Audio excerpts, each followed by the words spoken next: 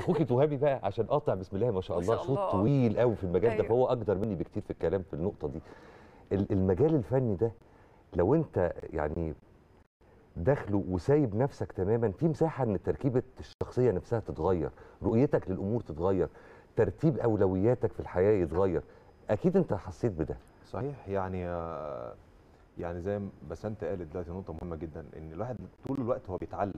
بيتعلم من الاكبر منه ومن آه، وبالذات لما يشتغل مع نجوم كبار.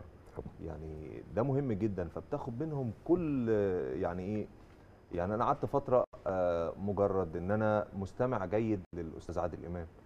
وأشوف هو بيعمل إيه وأسأله.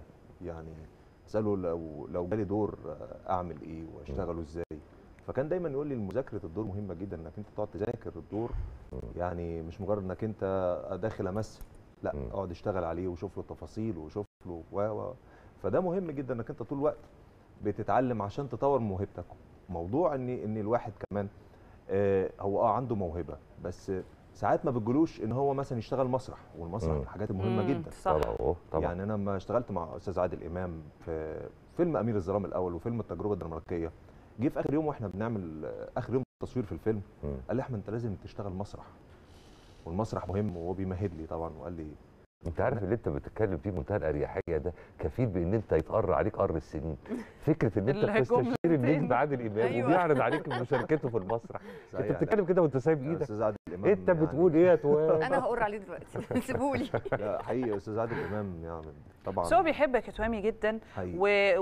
ودي دي كواليس حتى بره الشاشة. إحنا بنتكلم لا الكواليس اللي خلف الشاشة معروف إن هو بيحبك جدا. وهو داعم للأجيال طبعاً. الجديدة. وفكرة كمان هو كان بيقولها حتى في ال interviews بتاعته يقول لك أنا زمان بد...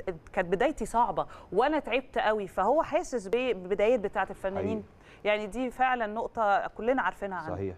يعني أستاذ عادل إمام يعني وخليكي مطمنة وانت بتشتغلي وانت جاية حتى لو طبعا شوف يعني الصورة دي بتقول كل الكلام على آه. فكرة كأنك ابن والله بجد يعني, يعني فرحان. بيك آه حقيقي يعني ربنا يديله الصحة رب. العمر آمين اتعلمت منه كتير جدا أكيد. على على المستوى الفني والمستوى ال ال الإنساني كمان والاجتماعي وحاجات كتير قوي لأن أنا أنا اشتغلت معاه من سن صغير يعني فيلم أمير الظلام يمكن كان عندي حوالي 18 سنة مم. والتجربة كان عندي حوالي حاجة و20 سنة مم. يعني ف فكان لسه بداية حياتي في الفن فاتعلمت منه كتير حقيقي يعني سيبقى فيلم التجربة الدنماركية فيلم استثنائي على كل آه، الاصعده كان كان رائع حقيقي على كل حال